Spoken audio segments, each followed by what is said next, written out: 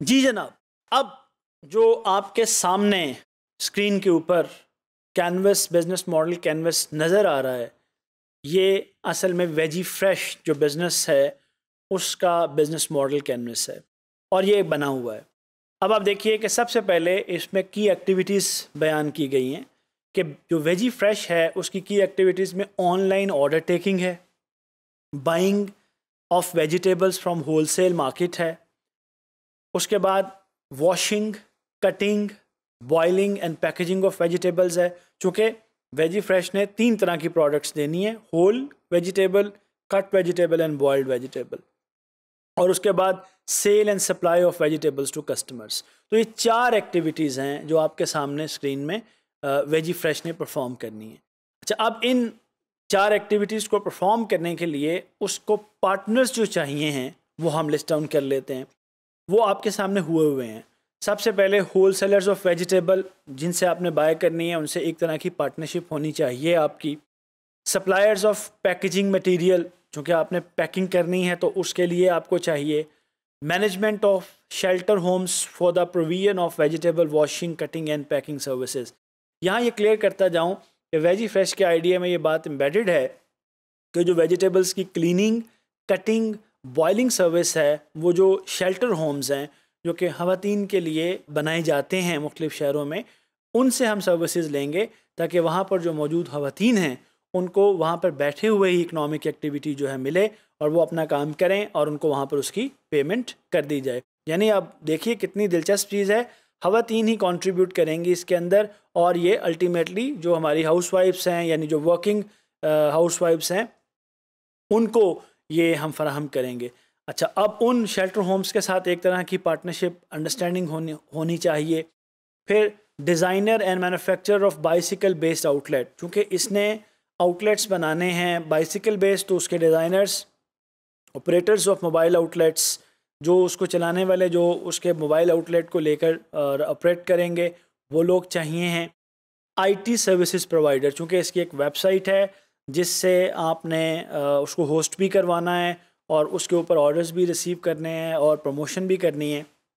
तो ये छः की पार्टनर्स हैं जो वेजी फ्रेश को रिक्वायर्ड है।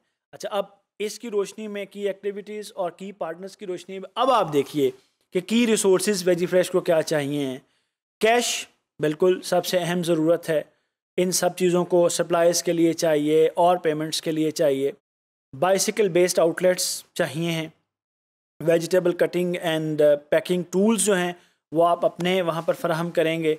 सप्लाईज़ ऑफ़ पैकिंग मटीरियल चाहिए है टू लैपटॉप्स इनिशियली चाहिए हैं फाइव मोबाइल सेट्स चाहिए हैं और कनेक्शन और कम्युनिकेशन के लिए, और फिर आपको वेजिटेबल की सप्लाइज चाहिए। ये की रिसोर्स हैं, जो कि वेजी फ्रेश को रिक्वायर्ड है।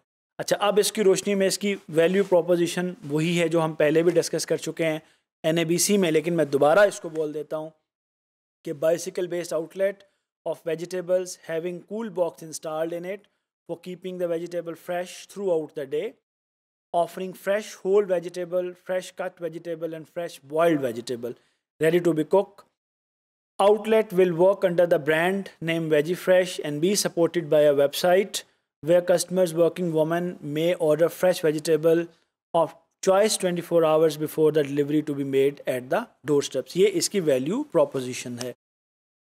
और कस्टमर्स रिलेशनशिप के हवाले से अगर आप देखें तो communicating with customers using personalise mediums such as personal visits telephone WhatsApp social media website और मोबाइल आउटलेट्स और इसमें जो कस्टमर से रिलेशनशिप कम्युनिकेट करने के लिए कांटेक्ट करने के लिए, आमतौर पर प्रिफरेबली पर्सनलाइज मीडियम्स इस्तेमाल किए जाएँगे। जो वर्किंग वूमेन हैं, उनके ऑफ़िस में उनको विज़िट किया जाएगा। टेलीफोन व्हाट्सएप और सोशल मीडिया के ज़रिए से और मोबाइल आउटलेट के ज़रिए से उनसे कांटेक्ट होगा। और कस्टमर के साथ जो रिलेशनशिप बिल्डिंग है, वो उनके साथ की जाएगी by delivering customised superior value जो उनको चाहिए। अच्छा चैनल्स जो हम इस्तेमाल करेंगे, वो कमोवेश यही हैं कि वेजी फ्रेश जो है, वो आमतौर पे अपने जो आउटलेट्स हैं उनके ज़रिए से कस्टमर्स को रीच करेगी उन तक पहुँचेगी जो उसके मोबाइल आउटलेट्स हैं। अच्छा कस्टमर सेगमेंट्स जिनको वेजी फ्रेश ने आ, मतलब लिस्ट डाउन किया है इन ऑर्डर ऑफ़ प्रायोरिटी वो पाँच हैं यहाँ पर। Working women having monthly income above rupees forty thousand चूँकि वही इसके लिए अफोर्डिंग होंगी। रेस्टोरेंट्स को भी सप्लाई किया कर सकते हैं। Households having monthly income above rupees seventy five सिर्फ़ वर्किंग वोमन ही नहीं जो प्योर हाउस वाइफ्स होती हैं उनके पास भी बहुत सी प्रायोरिटीज़ होती हैं और घर में काम के हवाले से या लुक आफ्टर के हवाले से कि अगर वो भी अगर बेहतर इनकम ग्रुप से उनका ताल्लुक है तो वो भी प्रेफर कर सकती हैं कि उन्हें फ़्रेश कट वेजिटेबल फ्राहम की जाए। Girls and boys hostels of college and universities उनके मेस जो हैं, वो भी कस्टमर सेगमेंट के अंदर हैं और ऑफ़िस जो मैस एंड कैफेटेरियाज़ होते हैं एग्जेक्टिव उनको भी ये सप्लाई किया जा सकता है। कॉस्ट स्ट्रक्चर के हवाले से अगर आप देखें तो मेन इन्वेस्टमेंट जो रिक्वायर्ड है, वो मोबाइल बेस्ड आउटलेट्स में रिक्वायर्ड है और जो सप्लाइज हैं वेजिटेबल की, वहाँ चाहिए।